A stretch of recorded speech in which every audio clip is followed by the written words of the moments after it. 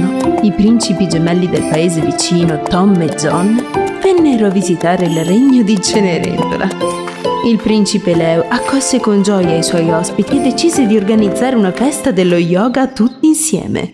Facciamo lo yoga party più grande del mondo! E così troveremo la nostra anima gemella durante l'evento.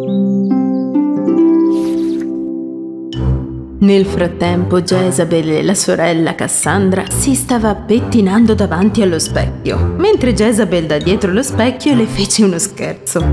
Specchio, specchio sul muro. Sei così brutta. Cosa? Quando Cassandra si arrabbiò e gettò il suo pettine, lo specchio cadde a terra e Jezabel apparse. Cosa? Non parlarmi mai più. Mentre le due sorelle litigavano, un piccione messaggero entrò dalla finestra. Oh, c'è una nota sul suo piede. Quel biglietto è mio. No, è mio. Lasciamelo subito. Alla fine il foglio si strappò a metà.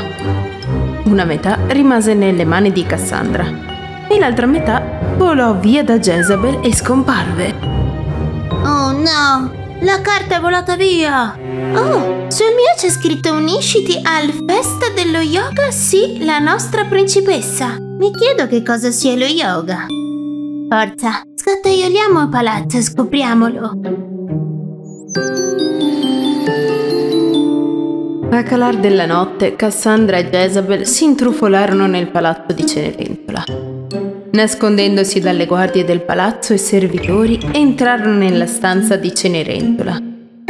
Quel momento Cenerentola era seduta a terra con gli occhi chiusi e faceva un suono tipo om. Cosa sta facendo? Oh, sta mandando l'incantesimo su di noi. Rispondiamo subito. Oh.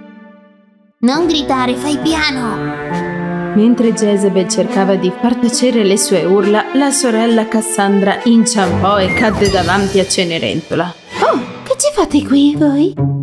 Noi, ehm, noi... siamo sonnambule. Cenerentola era molto arrabbiata con le sue sorelle. Abbiamo fatto una passeggiata nel sonno, abbiamo aperto gli occhi e... Ci siamo ritrovate qui. Che cosa stavi facendo in questo momento? Cenerentola subito capì perché le sue sorelle si erano intrufolate nel palazzo. Stavo facendo esercizi di respirazione per lo yoga. Posso insegnarvi lo yoga delle principesse se volete. Venite in riva domani alle 12. Il giorno dopo si incontrarono per la lezione a piedi. Cenerentola diede alle sue sorelle dei libri da portare sulla testa. Tracciò una linea retta sul terreno con il ramoscello che trovò da qualche parte lì intorno. A titolo di esempio iniziò a camminare sulla linea, con un libro in testa. Ah, è così facile. Posso camminare anche con due libri. Prima Cassandra fece il passo. Ops! Il libro cadde a terra. Guardatemi mentre imparo a camminare. I principi mi ammireranno. Jezabel si mise il libro in testa. Fece un passo, poi un altro. Il libro non cadde. Nel terzo passo anche a lei cadde il libro. Le sorelle che fallirono nelle lezioni di camminata iniziarono la seconda lezione della principessa formazione yoga, il corso di eloquenza. Respiriamo profondamente e diciamo Mamma Mimi, mamma Mimi ad alta voce. Mamma, mamma, Mimi, Ma poiché Cassandra non si era lavata i denti, un cattivo odore si diffuse dalla sua bocca. Ah, che puzza! Hai mangiato pesce con il cioccolato al mattino?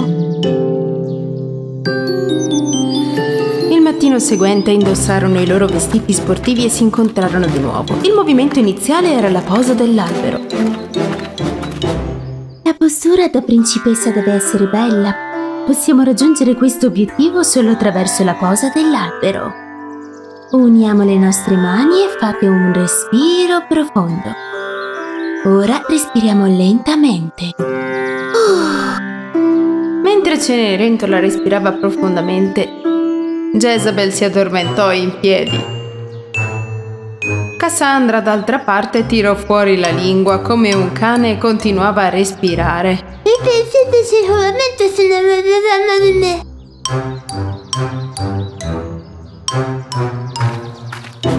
Cenerentola questa volta seduta sulla grande palla da Pilates apriva e chiudeva le braccia, mentre le sorelle cercavano di fare lo stesso, si sedettero sulla palla così duramente che la palla di yoga esplosero. Il giorno successivo fu l'ultimo giorno di principessa yoga. Cenerentola avrebbe insegnato alle sorellastre il movimento yoga più difficile. Se siete in grado di farlo avrete completato le lezioni di yoga della principessa. Diciamo che abbiamo completato le lezioni. Suppongo che ai principi piacerà, non è vero? Ti sposeranno, non è vero?